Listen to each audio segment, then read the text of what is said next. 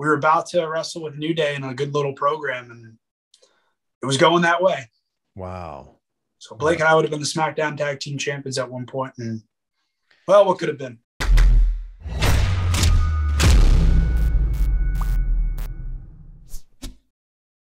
Steve, thanks so much for joining me. No, thanks for having me. Look at the look at the setup you've got here. It's like a shrine to both you and Deonna.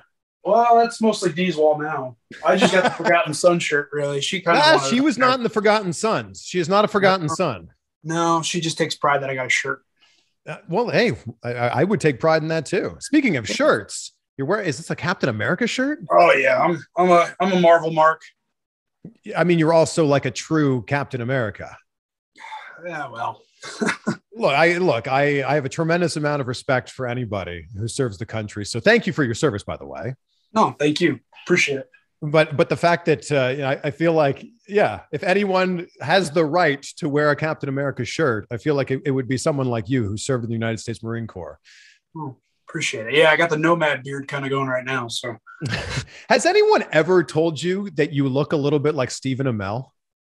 no, Okay, well, let me then be the first to tell you this. And with with Heels coming out now on Starz, the wrestling TV show, if he's looking for a stunt double, I mean, it's right here. I feel like, yeah, especially with it being a wrestling show, I'll take all the bumps for him. yeah, well, there it is. Fly out to LA or where? No, I think they're filming in Atlanta. So there you go. There you go. Yeah, it's one of those uh one of those shows that's kind of on the radar. Everybody's like kind of looking into. I remember seeing the preview and I was just like, oh, this, this could be interesting. But especially for a guy who's actually worked in front of a crowd, like Stephen Amell Yeah. has actually had matches. He's not just an actor who's you know playing a wrestler. Mhm. It's been exciting watching your journey over these last few months. It's been uh it's been a weird one, but a fun one. How everything's kind of happened for a reason. And uh I tell everybody that all the time.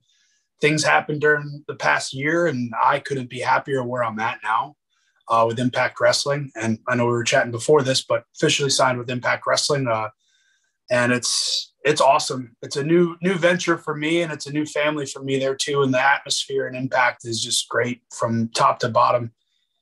Yeah, you're one of those people who was able to, you know, really land on your feet after getting released.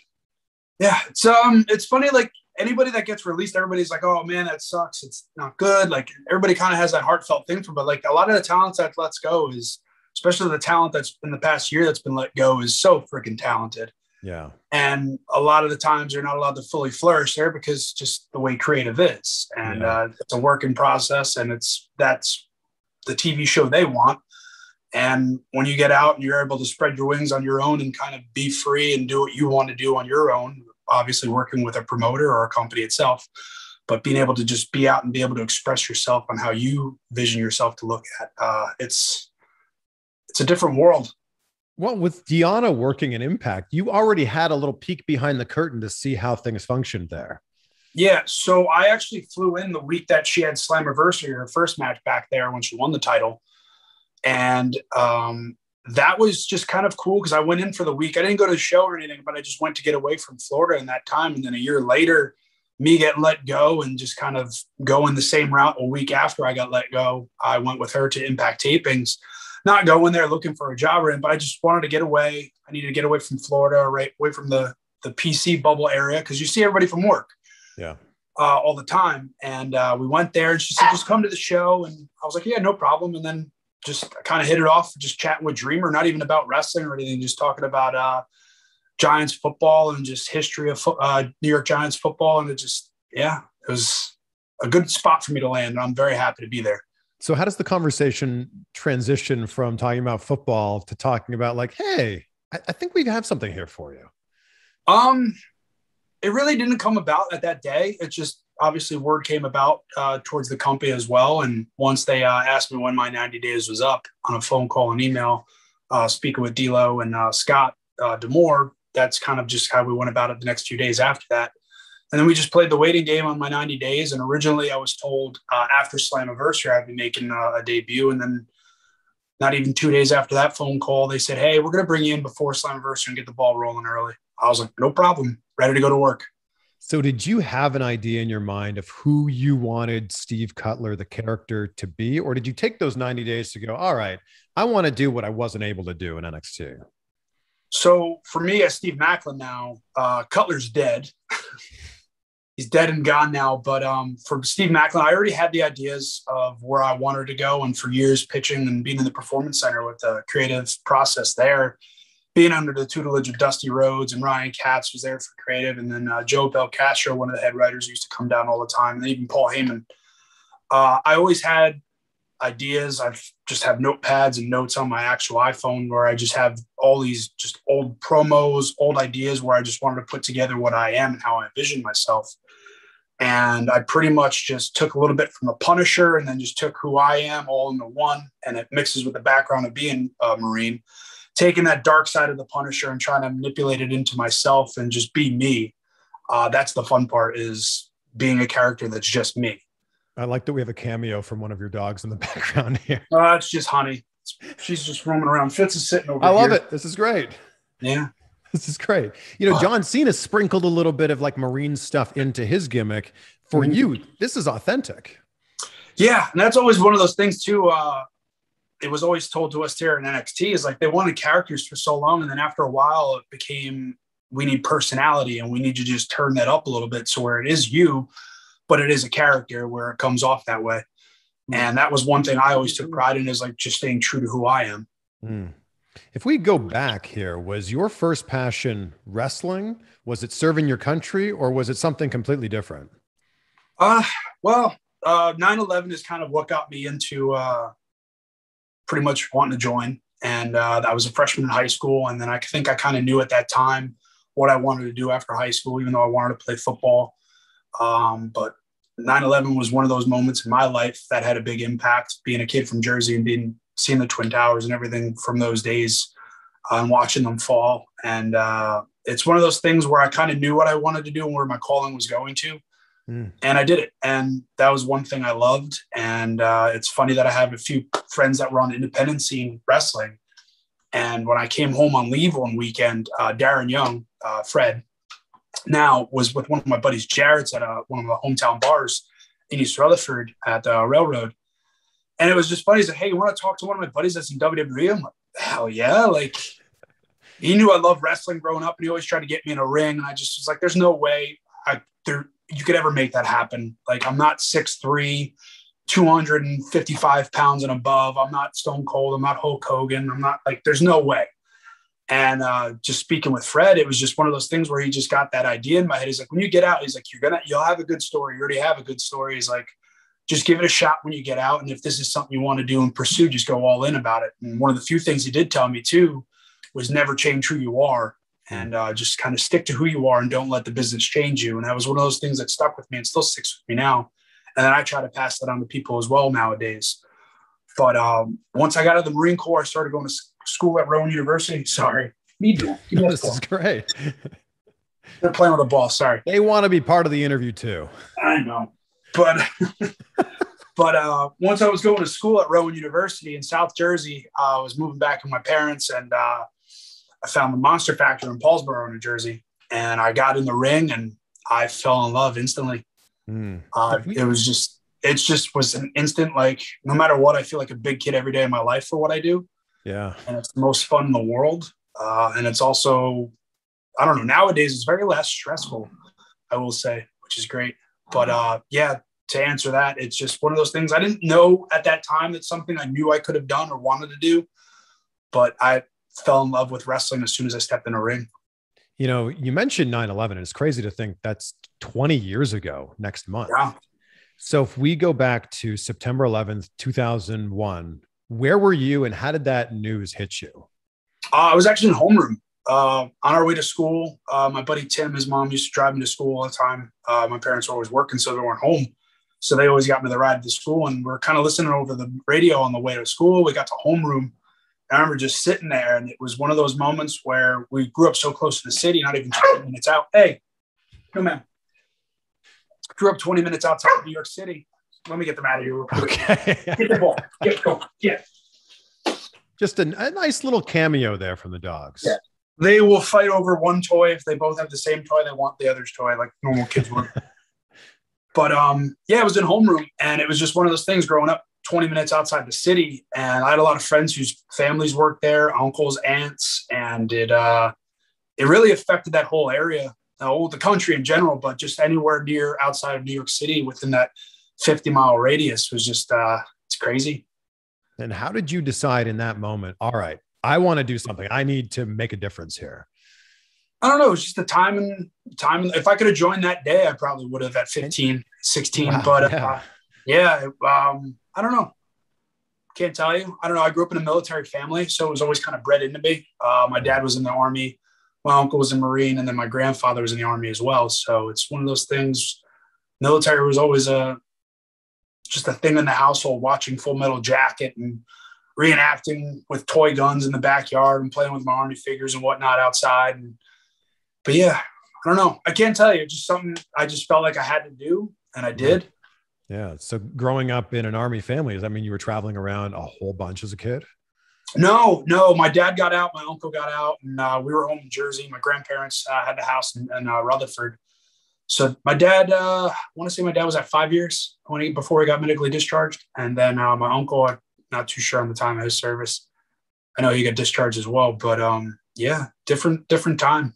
Yeah. So is this for you basically like you graduated from high school and you're like, there's no question what I'm doing next. I know exactly what I'm going to do. I'm going to go enlist. I tried college for a year. Uh, my mom begged me because I was ready to go to the recruiter in 2005. And uh, friggin' uh, Iraq was awful at that time and Fallujah was kicking off. And of course, it was all over the news. So my mom just begged me, please try college. And I did and didn't like college at first. It wasn't for me and it wasn't what I wanted to do. And then uh, one day I was working at my dad's uh, supply office. He's a locksmith. My stepdad, uh, his locksmith office in uh, Bloomfield, and the recruiter was right down the street. And I, I went at lunch one day, and I just said, "Screw this." I walked in. I said, "I want to leave this date right after Thanksgiving." I was like, "I want to go infantry. Don't need to do anything else. You don't have to sell me on anything because they usually have to give you the recruiting standpoint. Yeah, like, yeah and it was a very easy process but it was just for me being an only child was a pain in the butt just because i had to take the paperwork to my parents and you have to sign off because technically i'm the last in my bloodline uh, with my name. So it's one of those things you have to sign off as the only child. But uh, my dad my stepdad knew what i wanted to do and then my mom just was upset but it all changed once i went to boot camp and graduated. She saw me in uniform and rest is history. I, I, you're like the recruiter's dream when you walk in there you know yeah, like you're, you're, right. Most of them are like trying to sell you on the idea. You're just like, nope, that I'm good. I know what I want to do. Wow. Is Hell Week as crazy as everyone makes it out to be? Uh, boot camp uh, for Camp Lejeune, or not Camp Lejeune, uh, Parris Island. I was a Parris Island Marine. Uh, you have Parris Island and then uh, MCRD out in California. Uh, but um, I take more pride being from Parris Island, where the real Marines are bred. Uh, but um, it, eh, I don't know. Just I kind of went in better shape than I expected, and then I came out out of shape. If that makes any sense because you don't that realize. Does not make think, any sense. No. no, you think like the first three weeks were pretty much more of the physical part of it, and then afterwards it kind of turns into just mostly drill and learning the history, learning how to clean your weapon, taking proper care, and then just pretty much that three month breakdown of boot camp and trying to break you down as an individual and getting you that brainwashed marine. And are you seeing people all around you just dropping like flies? No, surprisingly, no, there wasn't that many. And if usually you drop off, you just drop into the next platoon at that time. That's kind of how it works at boot camp. I don't know how it works nowadays. But um, yeah, I expected it to be a lot worse just because, like I said, growing up watching Full Metal Jacket or watching the movie Jarhead, you see like the boot camp videos, and then it just kind of Mothers of America kind of took over a little bit and uh, affected a little bit of boot camp style. So at what point do you start thinking about what's next after, you know, serving your country, after being a Marine? At what point during that process? Uh, my second deployment was when I was kind of really contemplating my career in the military. Uh, so I originally enlisted, uh, tried to re-enlist with a MECEP package, which was pretty much the cross deck from being enlisted side to officer side. So I would have had my MECEP package in where I would technically go to OCS, but then also go to college at the same time, which would have let me finish my college career. And then if I was going to make a career, be an officer. Uh, but at that time, uh, the tattoo policy wasn't very uh, was very strict. So anything below the sleeve was pretty much denied. So once I get denied that, I just said, all right, screw it. I'll get out and go back to college, make use of the GI Bill, and uh, let's go wrestle. Wow. And then okay, so then you start wrestling. What are the steps that you start taking there? Uh, I'm very fortunate for the time that it took because uh, I was only training for about a year and a half in when I got signed. Uh, wow. So it's we're, a different world.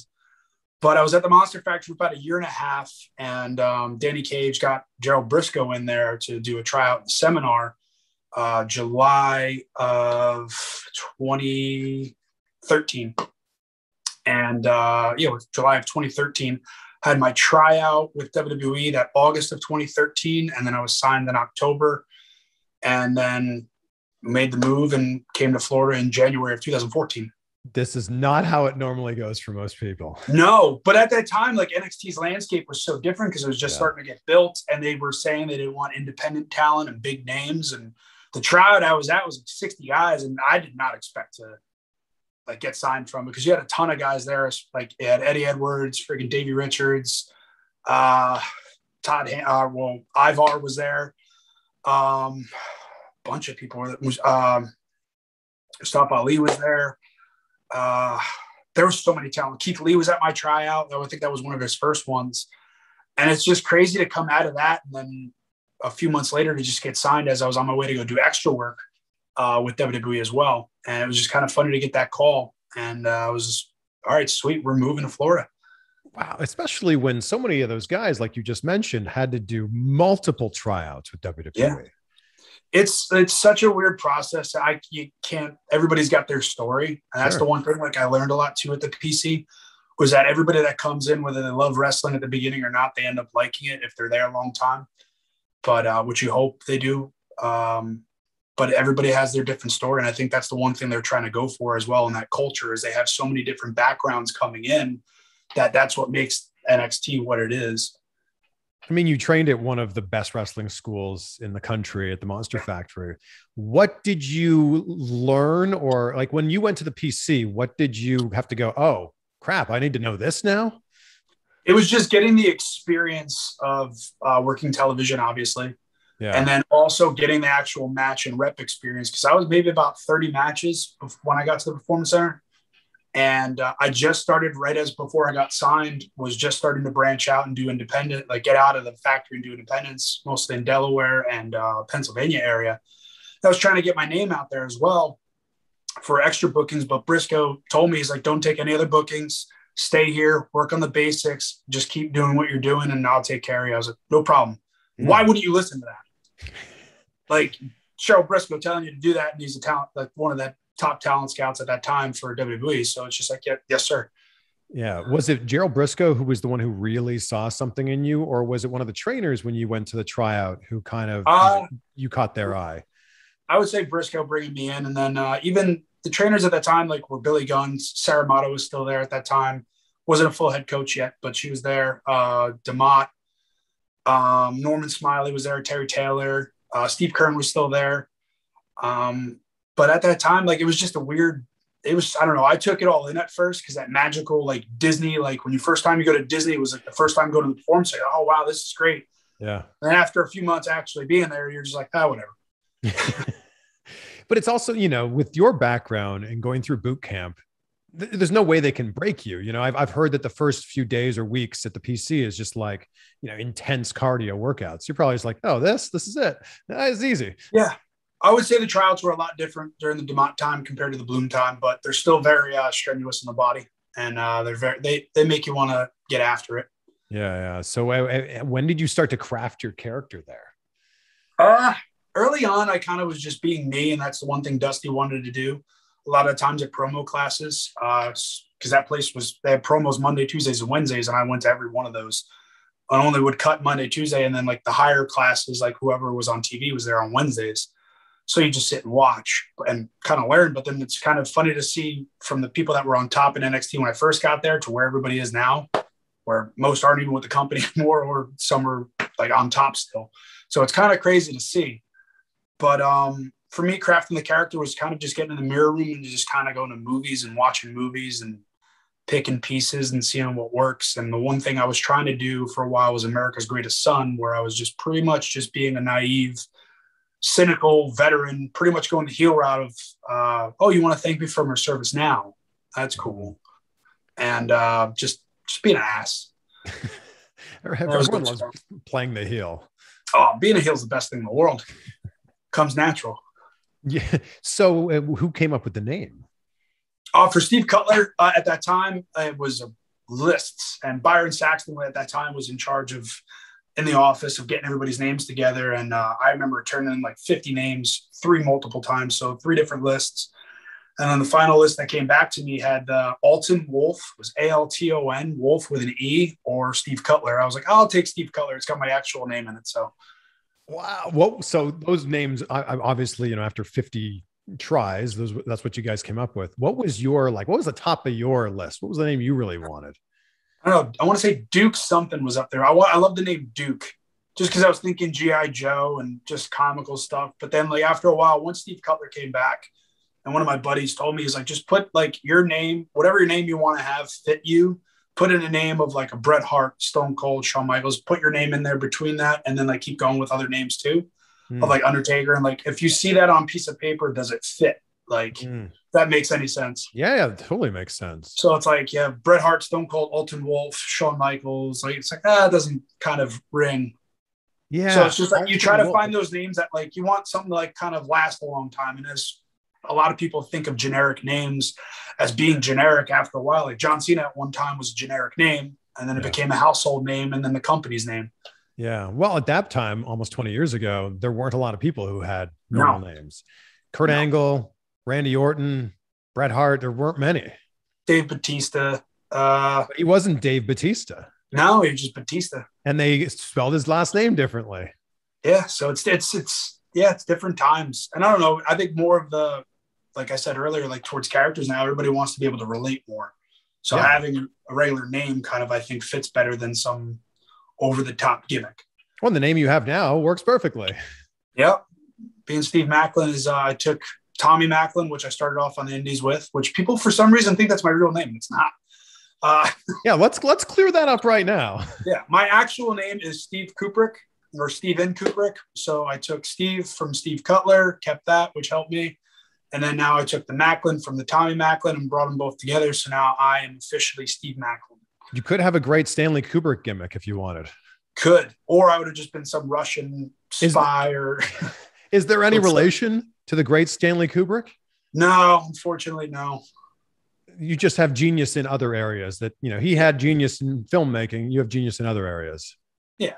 And, and, since you mentioned film earlier, and that was some of your inspiration for your character, what were some of the films that really, you know, inspired you? Uh, well, like I said, watching Punisher and just kind of taking ideas from the shows. Like now, it's like Marvel.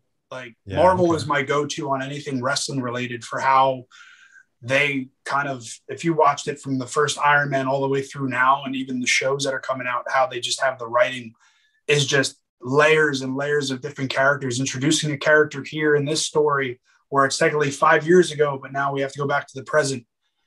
And I I love that because it's it's pro wrestling. If you think about it. I watched a recent interview with Jon Bernthal, and he was talking about how like deeply he dove into the character of the Punisher. And I feel like, I mean, how could you not be inspired by that? No, eh, that's the one thing too is like you try to do these. Uh, we took some acting classes too all my time at the Performance Center as well, and trying to get into that method acting of how to find that like thing in your head or that moment in your life that you can relate to and attach to a certain situation. And that was always a fun thing to do too. And now I try to do that as well with promos and even with the vignettes I put out when I got out and was released, which Impact ended up using, which I loved so much because it just was kudos to my investment on that. But yeah. um, which was a lot of fun for me because it allowed me and have my creative juices going. And then it just made me feel like I'm like, wow, I'm actually doing me for once and nobody's bugging me about it. Yeah. After working on your character and putting in the reps in the PC, where do you feel like you really made your biggest splash in NXT? When once Blake and I started tagging, uh, Westin Blake now, um, but once he and I started tagging and getting that um, we weren't originally the Forgotten Sons. We were trying to be POS, prisoners of the system, which then that was turned down because we were trying to play towards uh, the gimmick of here we are stuck in this system where you have all these new indie guys are coming in. Nothing against them. It's just the way the place was working at that time. And here we are, and we're just trying to make that into a real life situation. and that's where we kind of had fun and that's where we both kind of well at least for me i let go of just caring for everything to be perfect in wrestling uh, once blake and i started tagging all the time and the road shows and we just had fun like i don't know i just i stopped caring so much about the perfection of a match to be 100% from beginning to end and things are going to go wrong and that's yeah, usually I, the fun I, part is nowadays ironically you're called the forgotten sons because you yes. felt like you guys were overlooked and then I feel like there was a point when you guys were actually being overlooked as the Forgotten Sons.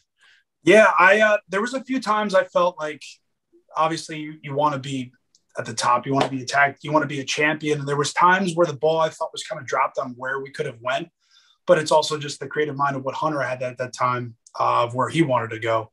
Uh, especially like the the Dusty Classics we had against Aleister Black and uh, Ricochet.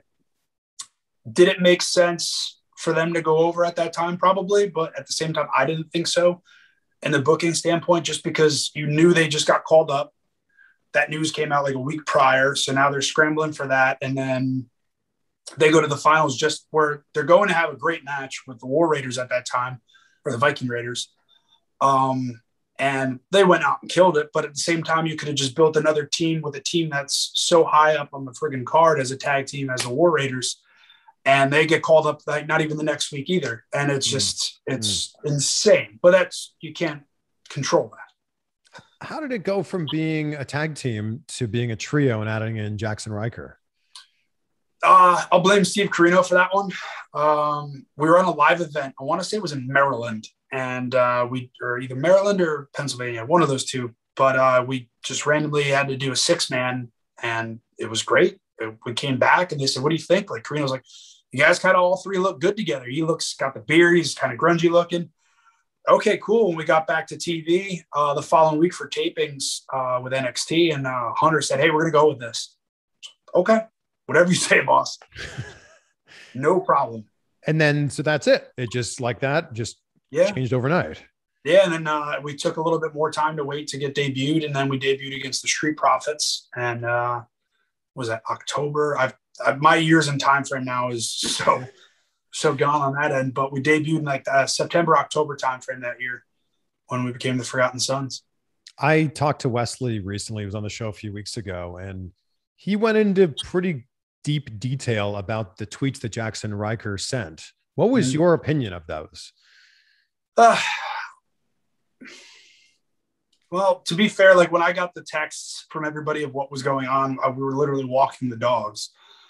Uh, and it's just a it's a crappy situation because that's just the way the world is now and how you view things and what you say is going to either offend somebody or not offend somebody. And in that situation he can have his viewpoints on the world. And that's why blake and i distance ourselves very quickly because we don't feel that way um, nothing against him he's allowed to say what he wants to say he's a free man and that's the point of social media you can say what you want to say but obviously in today's cancel culture of the world things don't work out that way um, do I agree with everything he said?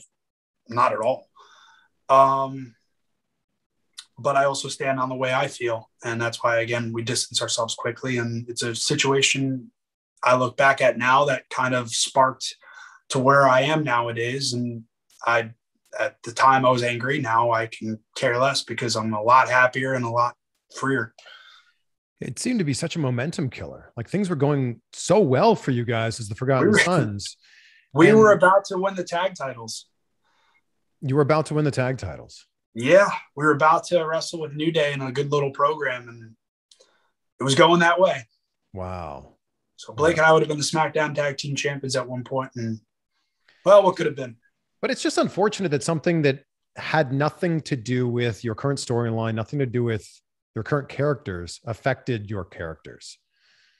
Uh, round down range, you can't do anything about it. Yeah, I guess that's it. Yeah, but I also, how how did you guys get released and he didn't? Couldn't tell you. I don't know. But you know, circling back to what you said at the start of this, everything happens for a reason, and you know, it yeah. might have been super frustrating at the time to deal with you know, that situation with Jackson or to deal with the release, but things are going pretty well for you now. Yeah, I can't complain. Like, granted, like the best part about with WWE is you're in WWE, and I always wanted to be a household name, and I thought I would have had my career there. And you look at sports across the board now; everything's a business. The loyalty and anything is gone. Uh, it's all business and it's all numbers. Um, so it's one of those things where at that time I would have loved to have stayed in WWE, made a career in WWE, and who wouldn't want like because I grew up loving WWE. But now, like I see the brighter picture, and I've seen the corporate world of what it is, and and especially in pro wrestling nowadays. But for where I'm at now, I'm extremely happy in Impact Wrestling. Couldn't be happier, and it's it's fun too to have more of the creative input on my end as well. Yeah, feels like you can be whoever you want to be with your character yeah. impact. And that's the one thing too. Impact is very big on the characters. They're very character driven and very story based driven. Granted, WWE and NXT are, but I just think Impact kind of sticks to those stories a little bit more that and longer at least too than uh, for what's going on with uh, current products. There's so many talented people there too. So from from top to bottom, like, I know. funny, like to from when I even got there, Deonna's like, "How do you know all these people?" I was like, "Well, half of them I've either worked with before, they've been in NXT, or I've done their tryouts." So it's kind of like funny to like everything's just full circle in pro wrestling. You same people you're meeting on the way up are the same people you meet on the way down and back up again.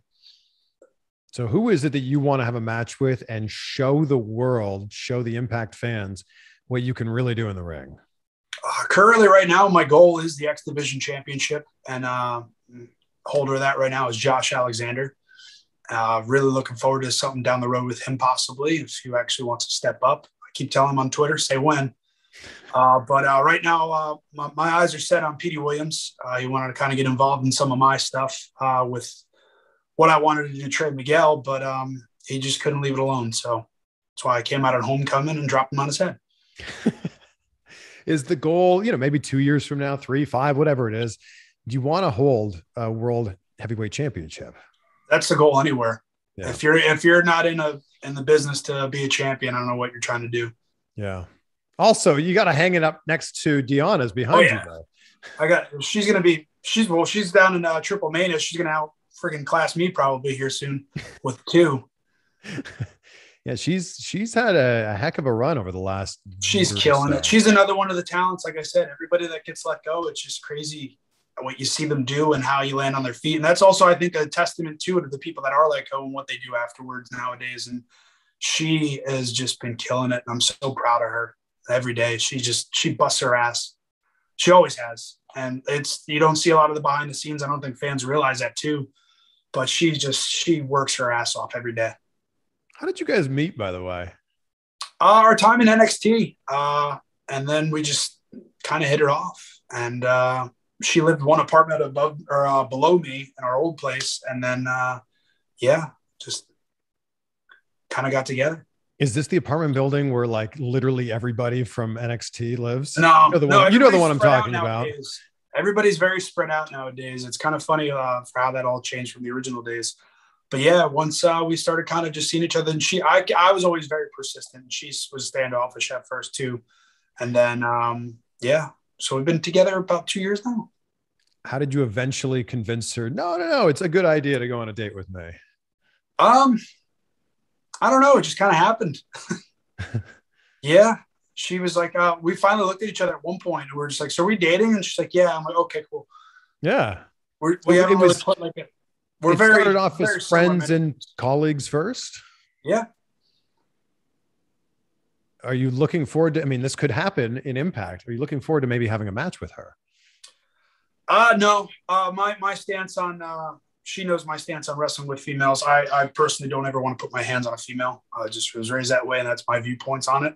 Yeah. People can have their opinions on that too. But uh, would we work together possibly down the road? Yes. But she's obviously now a queen with uh, the king, uh, the drama king, and um, so they're doing their thing, which is great. And she knows where I'm at and where I want to do and what my goals are, and me being who I am. And I'm, like I said, X Division title right now is my goal. Yeah. How much of who you are now was shaped by those years that you spent in the military? I would say a lot. I, didn't think about it then. Nowadays, I'm the older I get, I feel like the wiser I get because I just keep my mouth shut and kind of like, oh, okay, this makes sense. I think a lot of people do that when they get older at some point where you just become a lot quieter and you just realize, oh, all right, this is a life lesson here at this point. But um, the hurry up and wait game, I think helped me out a lot uh, from being military to wrestling because it's the same thing anywhere you go in wrestling. Everything's hurry up and wait. Um, being patient and just being able to adapt to certain situations when things go wrong or things even go not as planned where they actually work out and you just kind of adapt to it and you just keep keep the ball rolling with it. And bad things are going to happen good things are going to happen but no matter what there's a lot of outcomes that you can't control.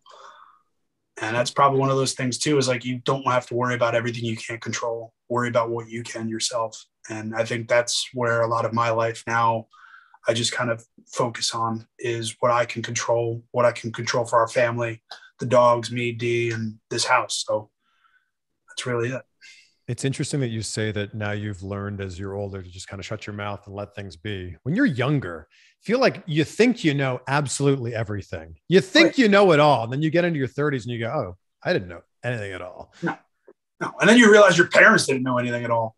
Yeah. And they're just everything figuring it just, out as they go. Everything's just falling it on the fly in life. And it's great.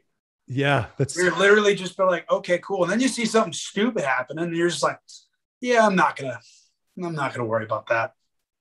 But you're right. All you can worry about are the things that you actually have control over. And what you have control over is how you want to react to the things that are happening in front of you.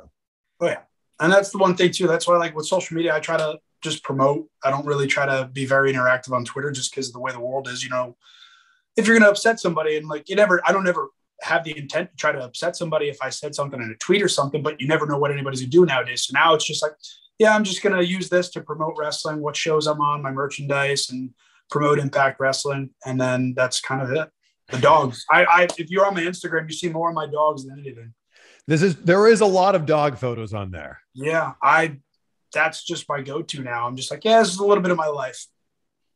And people, I think other people, you know, Deonna Purrazzo fans want to see photos of her that maybe you would post that she hasn't posted. Yes. And normally at times it's a photo that we've taken 50 million different times because the angle or the lighting wasn't correct. But usually I'll get yelled at for the photo that she didn't like and vice versa. Sometimes I'm like, oh, I don't like that photo. She's like, yeah, but I look good. I'm like, oh, okay. Eh, and cool. then it doesn't matter, Steve. It really doesn't matter what you look no, like. just like whatever. Do you think at all about what what you want to do after wrestling? It's always the question uh, because they used to have classes at the PC where they'd have financial people come in like, oh, this is for life after wrestling to get prepared. It's just like, well, my goal is wrestling. Like, yeah. my mind isn't 100% on wrestling. Um, I would love to be involved more in the veteran community, um, helping out that way. Um, I've actually, once I was let go, I was applying to a bunch of jobs at the VA uh, with hmm. my buddy Tanner was helping me out in that process. But uh, something to be involved more with the veteran community and helping uh, a lot of people with PTSD and any type of counseling. I would love to get more involved in that end just because like I've been there, I've been down in the dumps where life sucks. And I don't know. I don't, I think that's a part of the world that a lot, well, a lot of the times people forget about Forgotten Sons. And that's kind of also where the Forgotten Sons is kind of based off of too, of kind of finding a way of like, oh, you forgot about us in every aspect of life. And those are the people technically you shouldn't forget. Yeah. How much of PTSD did you deal with when you went back to, you know, the quote unquote real world? Um, it was just getting acclimated back in the real world. Um, like everybody has post traumatic stress from anything in, in their life. There's always a moment. It's not just a war thing. Um, but my thing was just adjusting back into the real world and dealing with people again. And from going from a combat situation and coming back to real life and then hearing people complain and bitch about certain things that really aren't relevant because, like, again, you can't control but they're going to complain anyway but it's just one of those things too again another tool that i've taken is where i just i don't know things don't bother me as much anymore. Mm. um, but yeah i had my moments. I still i think i still have my moments here and there but like that's where i text my buddies. I, I two of my best friends barry and rains we text constantly or call constantly. And then even just talking to dee she's the first person in my life i've been able to just kind of just chat with. And she's open ears with everything. And she'd be like you want to talk about it no i'm just letting you know i'm not in a good mood yeah. I I certainly can't relate from a firsthand perspective, but I've heard that when you come back from combat, it's a big adrenaline adjustment. Is that accurate? Yeah, it is because you had that adrenaline dump all the time. It's like that's why I think that's why I also loved wrestling Yeah. I fell in love with it. Like anytime I perform, like my adrenaline's through the roof. And then I, I'm up till three, four in the morning and trying to come down from that high of that adrenaline rush for like being in front of a crowd and having fun with it. But um, it's just getting that excitement again. And I think that's one thing wrestling helped me out too. Once I got into wrestling, um, it took my mind off of a lot of other things and just gave me life again and more of a purpose once I was out. And it's fun. I mean, if wrestling was the thing to take your mind off of everything, how did you handle when when things really hit hard with COVID and you weren't on the road like you were normally on the road? How did you deal with it? Uh, I just kind of went with it. Again, can't control it. I love this. Yeah. It was just like so it was a real weird time as well, too, because we were just getting called up and we were supposed to debut technically before Mania or after Mania. We weren't told, but we got told uh, mid February. Blake and I and Ryker, we got pulled aside before we wrestled the Grizzled Young Veterans that this is going to be our last match. Make them look good because you guys are going to SmackDown. I laughed in Hunter's face out loud. I was like, ah, like, hell yeah, get us out of here. It's been seven years.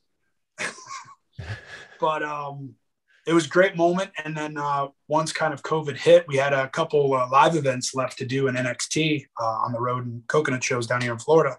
Yeah. And that's when COVID kind of started canceling everything. And then everything moved to the PC. And then they said, hey, we're going to bring you guys in uh, right after Mania. You guys are getting called up. And then, of course, we debut on the PC with no crowd. Granted, awesome moment to debut on SmackDown, but not in the building that we were just stuck in for the past seven and a half to seven years each. Right. Yeah. So, but um, yeah, just it's what happens. And like I said, we had the ball rolling. We hit the ground running once we got called up, and then uh, the tweets went out. Hmm. I, I love though your attitude of the idea that you can only control what you can control. And I think that this is why you've been as successful as you have been thus far. And it's why you're going to continue to be successful in your life and in your career. Thank you. Yeah, no, I just, I don't know. I think, I think everybody has an athletic standpoint when you're in that plat or in that, uh, I can't even think of the word, but uh, when you're on that spectrum of just being a professional athlete in a certain way. Like I just, you got to worry about you, control what you can, take care of your family, and everything kind of just falls in the line. And I, I think it goes across the board in life in general for anybody. Just do the best you can at what you can control, and if things are going to go bad, things are going to go good. Just enjoy it when it happens, and then learn from it when it doesn't. Yeah, I think it's also important with that in mind to remember that what's happening right now is only what's happening right now. This is not reflective of how things are going to be tomorrow or next week or next month. Yeah, uh, you, it's just everything's ever changing, and just yeah. do what you can. I love it, man. I, I end every interview with the same question. I talk about gratitude because it's something that just drives my life. And I'm mm-hmm. curious for you, Steve, what are three things in your life that you're grateful for right now? Uh, my family. I have a very supportive family uh, from top to bottom with my mom, my stepdad, and then D. Uh, and, and, the dogs. And the dogs too. But you just have uh, just my family in general, even my cousins, my aunts, and my uncles. Everybody's always been supportive of what I've done. And they knew what I wanted to do as being a professional wrestler. And once I started doing it, they just said, You're all in on it. Just keep doing you um, that's definitely number one is my family. And then I'm grateful for my house, uh, for my time with WWE to be able to afford the house that I live in and Deonna and I live in and take care of it that way. Um, I just wrestling in general. I'm very grateful for professional wrestling. It's, it's again, paid for my house. It's paid many things forward in life and then many things it's given me. And I try to give back to it so much as much as I can. Anytime I'm out there performing, I try to be the best that I can be. Well, I'm so excited to see what's next for you in Impact. I think that, ah. I mean, there are endless possibilities for you there. There's a lot of people there I'm, I'm, looking forward to working with too, and that's the one fun part is it's a new roster. The roster again from top to bottom is so damn talented, and like even if you look around at it too, I was having a conversation with somebody there the uh, the last tapings, and it, they even said like this is the first time looking at impact from top to bottom where it looks like a professional wrestling show with the way everybody looks. Everybody, present, everybody presents themselves as a star. Everybody it just everything is i love it there. I can't there's not one complaint in me about it of being there and the atmosphere that it has. And it's just a good where everybody wants to go out kick ass everybody look good at the same time and put on a great show. Love it. Steve Thank you so much. This has been fantastic. No, thank you, Chris. This is great again. Hopefully, we get to do it again soon. Let's do it in person next time. That'd be great. I would love Done. to do it. More, more in person interviews are better than Zoom. Oh my gosh. You're telling me. Yeah. Awesome. Thanks, man. Thank you.